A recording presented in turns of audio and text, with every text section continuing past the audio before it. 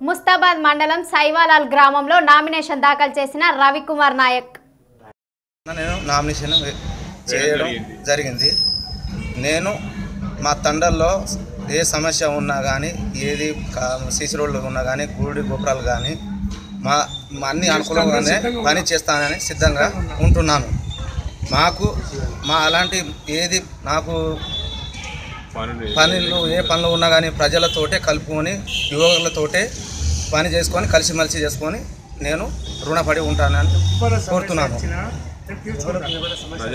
ప్రజలు సమస్యలో ఏ ఉన్న పని కానీ చేసి చూసి బాధ్యత నాది.